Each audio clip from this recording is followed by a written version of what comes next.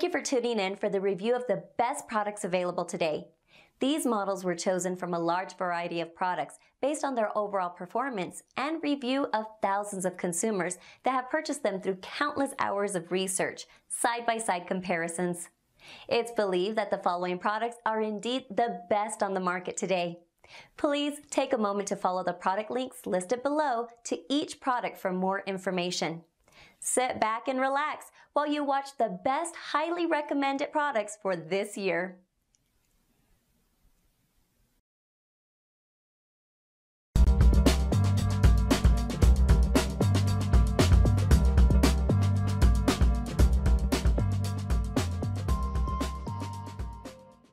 Hi guys, hope you're all okay. Welcome back to the channel.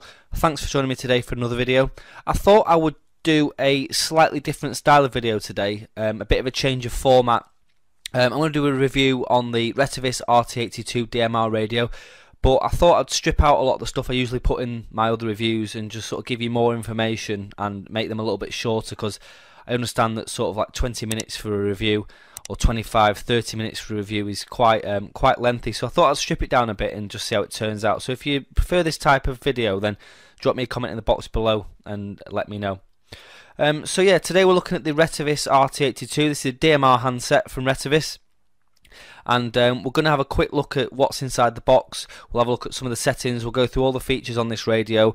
Um, I'm not going to go into the programming because programming for DMR is all very similar, and I've covered it in loads of videos. And you know, again, I, I, really don't feel that 10 minutes on programming DMR or showing you the DMR software is going to be beneficial, um, really. So I thought I would just skip that little bit out. But again, um, let me know in the box below. And um, what we'll do is we'll do a little test on this at radio as well and just see how it performs. So I've got everything that's inside the box here in front of me. We've got the user manual there. Um, which is quite a thick user manual, plenty of information in there. We've got the charging base, uh, the drop-in charging base for the radio.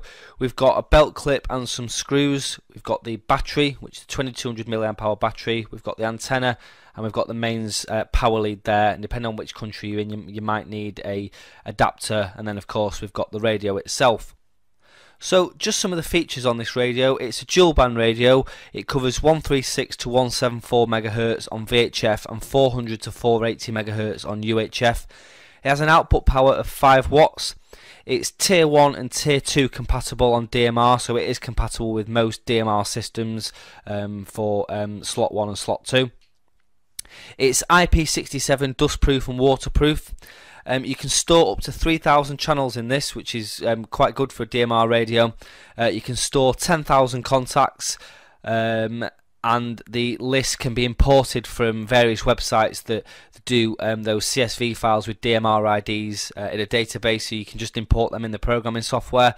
Um, so yeah, 10,000 contacts is, is a hell of a lot. Um, this has got the record feature, so a lot of Retevis radios have got the record feature now, so you can record up to 8 hours and you can play those back on DMR. It's got the usual features like CTCSS and DCS, an emergency alarm, Vox, password lock, and you can set the programming software um, to have a password as well, so it can't be programmed without the password. It's got dual standby, so you can monitor two frequencies at the same time. Uh, and as I said earlier, the battery is a 2200 milliamp hour lithium ion battery, so that'll give you about 8 to 12 hours of normal use and a standby time. Uh, Retevis claims of 150 hours. It's got the usual display that most of these types of radios have, so that familiar familiarity is a lot easier. Um, if you can use a lot of the other DMR radios, you'll be able to use this one. It's quite simple. Um, it has a timeout timer. It's got um, five user-defined buttons, so it's got three buttons on the side, um, one on the top, which doubles as an emergency button, and then you've got P1 and P2 on the front, which is quite handy. So there's plenty of programmable buttons there to do different functions should you need them. You can send SMS messages on this radio, um, so like you can with a lot of other DMR radios. So if you don't want to talk over voice, you can just send SMS messages, and you can set pre-defined messages up in the programming software. It does have basic encryption as well, and remote stun, remote kill, and remote activate. So um, if you're in part of a network and the radio goes missing or gets stolen, you can kill it or stun it, and then you can uh, bring it back to life when it's recovered. And as I said earlier, you can program this via PC quite easily. So just switching the radio on. Um, you can see we've got the usual uh, layout on the screen there, quite straightforward, very similar to the TYT MD380 and all other Retevis radios, um, which makes it nice and simple. And you can see on the front there we've got those P1 and P2 programmable buttons. And on the side you can see the up and down buttons there, I've set them to cycle through the zones, so we're just going to go to a zone that's got some DMR channels in it.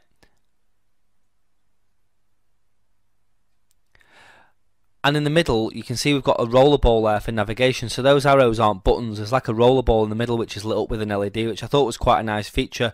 Something I've not seen on any other DMR radio I'd come across before. Um, and of course, you can use the P1 and P2 buttons for up and down, left and right, should you need to. Um, but if we just go into the menu there, you can see we've got contact settings. And I'm just using the rollerball there to navigate through the menu, and then press the um, ball down to select a contact and then we can just press back to go back to the previous menu. We've got scan um, zones so we can go in the zone list there and you can use the roller ball to cycle through the different zones. So I'm just going to select GB7MR there and put that zone on and um, that'll be the zone that we're in. You've got messaging, a call log, utilities, so we've got radio settings in there, so you can see we've got talk around settings, tones and alerts, uh, power output, backlight, squelch, intro screen, uh, keypad lock, LED indicator, password lock, the record function there, so you can turn record on and off. Clock mode, so you can set that to uh, channel mode or memory mode. Voice enunciation, private call match, group call match, uh, menu hang time, TX mode. Um, so yeah, again, all all quite simple. The only thing you can't do in this is you can't program this from the front end. So with some other DMR radios, you can program them fully from the front end. Um, in this one, you can't actually do that. So you can't select your color code, talk group, and slot and frequency from the um, keypad um, at this moment in time. I'm not sure if there'll be a firmware or software. Okay, so what I think we'll do now is we'll go out and we'll do a short range test just to see how this radio performs.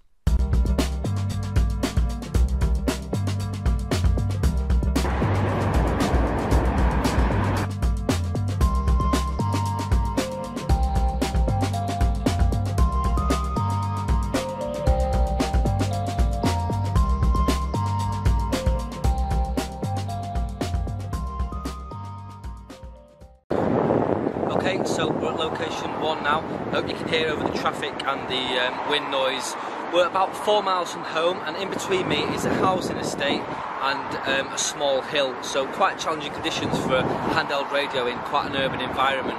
Um, so I'm going to put a couple of calls back to base. Uh, receiving radio is the AOR DV1 scanner. Um, connected to a collinear on the roof of the house. Um, the actual collinear is lower than the horizon line where I'm stood now because of the terrain around here. So uh, let's hope we get back to base. Uh, this is M3 HHY Mike 3 Hotel Hotel Yankee Mobile on DMR calling channel. Uh, testing back to base 12345 54321 on the Retevis RT82. Uh, this is M3 HHY M3 HHY on the Retevis RT82 at location 1, 4 miles from home Testing audio on the AOR DV1. 12345 54321. Uh, this is M3HHY, Mike 3 Hotel, Hotel Yankee Mobile on DMR calling channel. Uh, testing back to base, 12345 54321 on the Retevis RT82. Uh, this is M3HHY, M3HHY on the Retevis RT82 at location 1, 4 miles from home. Testing audio on the AOR DV1. 12345 54321. Right, what we'll do is we'll head to a second location now. We'll see how we get on there as well.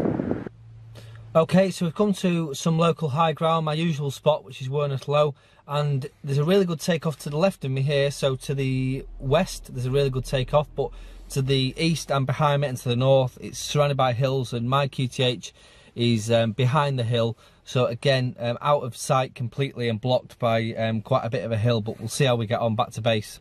M3HHY mobile testing the Retevis RT82, the Retevis RT82 from Werneth Low in Hyde, uh, back to base 12345 54321. M3HHY on DMR simplex, uh, testing the Retevis RT82. 12345 54321, back to the AOR DV1, over. M3HHY mobile testing the Retevis RT82, the Retevis RT82. From Werneth Low in Hyde, uh, back to base, 12345 54321. M3HHY on DMR simplex, uh, testing the Retevis RT82. 12345 54321, back to the AOR DV1, over. Okay, so we're going to head back home now and we'll listen to the recordings and see how we got on. Okay, so I think I'll wrap that one up here. Um, some really nice features on this radio. I think the um, IP67 dustproof and waterproofing is a nice feature.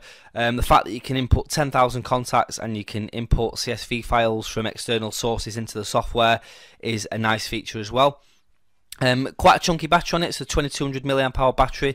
Um, it's quite good. You're going to get quite a bit of use out of that compared to some other radios. Um, it's got all the usual features of Retevis radios, such as the encryption, the record function, things like that. Um, the only thing is um, that other Retevis radios have the edge on is that you can't program it from the front end, but it's no big deal. Um, we had that with a lot of earlier DMR radios, and even some of the existing DMR radios that are coming out now. You still can't program them from the front end. That's um, quite a bonus at the moment. But there are other Retevis radios where you can program them from, from the front end, so it's no big deal. And as I said earlier, the programming software on this is really straightforward and virtually identical to any other that I've used, so programming isn't a um, massive issue. Okay, so we'll leave that one there. I know it was a bit of a shorter video. I hope you enjoyed it. Um, let me know what you think of the new format, or whether you like it, or whether you'd rather go back to the longer videos where they're sort of 20, uh, 25, 30 minutes. Let me know in the comments below. Um, any other comments, suggestions, or questions, drop them in the box below and I'll get back to you. And if you haven't already clicked the subscribe button, then make sure you click the subscribe button. Uh, plenty more coming in the new year, guys. Got a lot of videos planned, so um, stay tuned for those. And all that's left to say is 7 3. We'll catch you in the next one. Cheers.